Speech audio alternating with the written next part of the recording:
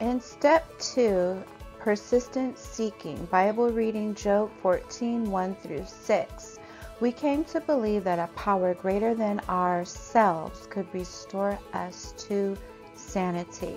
One thing that may make it hard to believe in God is that life often seems unfair to us.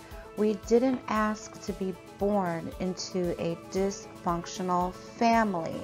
We didn't have any say over the abuses and injustices we've suffered. We didn't choose our predisposition toward addiction, and yet we are held accountable for things we can't control on our own. This makes it hard to initially turn to God as a power to restore our sanity. He seems unreasonable in his demands. Job understood these feelings. In the midst of his suffering, he said, How frail is humanity! How short is life! How full of trouble!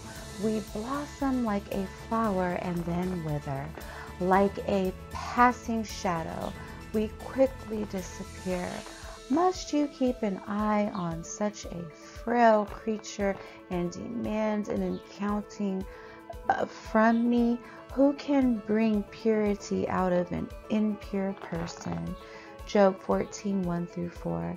These are good questions, ones that most of us have asked in one form or another. Job persisted in his questioning because deep inside he believed God to be good and fair, even though life wasn't. He was honest with his emotions and questions, but he never stopped seeking God. There is a good answer to the question Job posed, one that will satisfy both our mind and our heart. It will be found, however, only by those who are willing to work through the pain and unfairness of the life and still seek God. In God's loving arms, they will always find the answers they seek.